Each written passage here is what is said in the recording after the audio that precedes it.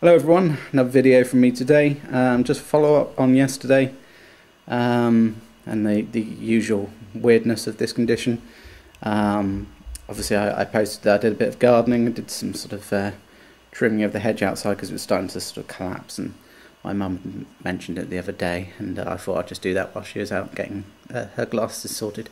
Um, but uh, yeah, I didn't end up needing to take painkillers last night. The fatigue kicked in and uh, very weirdly as I was using the clippers um, I stopped for a second because my arms were really hurting on my back because obviously I can't stand for very long these days um, but um, yeah my hand sort of went into a sort of claw and stuck for a few seconds and then sort of spazzed out, spasmed open um, which is weird because that sort of thing um, my late dad uh, my late father had but because of his Parkinson's um, it's, a bit weird to experience that with fibro, but um, yeah, fibro is all you know about muscles and a lot of random weird stuff. Um, but yeah, and I didn't need the painkillers yesterday, but certainly I've woken up today definitely needing them. So I've taken my naproxen today, one of those. Could take another one shortly actually with some food. You've got to take them with food. Uh, most stuff like an anti-acid stomach tablet I take as well, so it's not to upset stomach. But um, yeah, and I woken up with the the usual as it started to go last night, but it was it was really bad when I woke up and is still now. It's like when you when I open and close my hand, I can it feels all bruised inside, and my arms are especially all all feel really knackered and are much weaker today. Uh, still managed to get out and do the morning uh, walk with Toby and stuff, so that was good. Um, um, try and do a second one with him later as well. Mum's just out at the moment at work thing work meeting, sort of discussing about trying to go back to schools and how that's going to look like. She's a music teacher, so a cello teacher, um, and uh, yeah, how they're going to work the whole COVID situation. But yeah, no, I thought I'd do a video on here about the yeah the, the uh, sensations and stuff that I have the day after doing activity.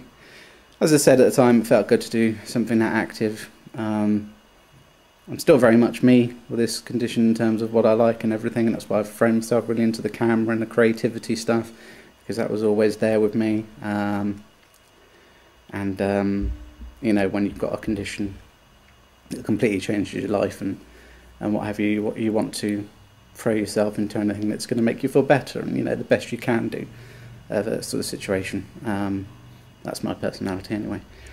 Uh, but yeah, no, I thought I'd just do a video. It's just weird, isn't it? The symptoms.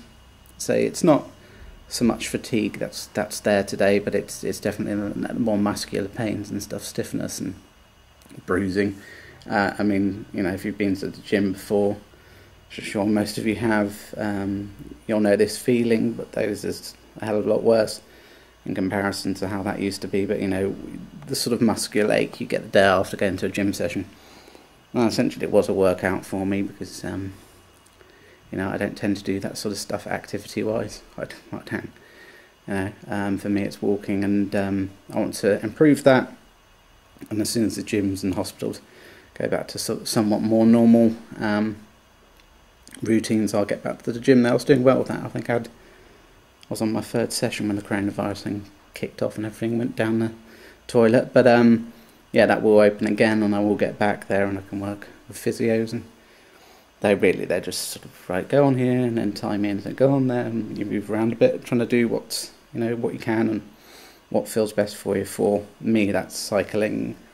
Um, I try to do some of the weights because I want to badly get more strength in my arms because the cameras and stuff are so much, a, you know, a lot, lot more uh, difficult for me to handle these days. Um, and that photo that I posted me a couple, of days ago on here, which I bought because it is a lighter pro camera and it's it's more easier for potentially me to do any recording with um, in a professional sense um, for when I get some you know stronger and, you know whatever happens um, even that that's I was only sitting there for a few minutes to pose that and that that hurt my arm so it's yeah it's it's it's a reality of this thing it's very it's very shitty condition.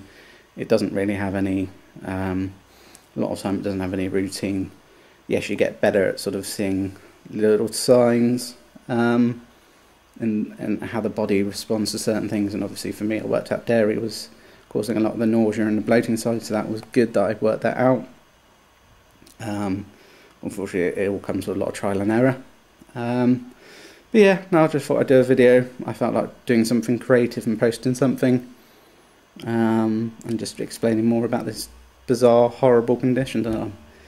You know, I've got like many thousands of people in the world, um, many good people on here have as well. So, yeah, it's not good.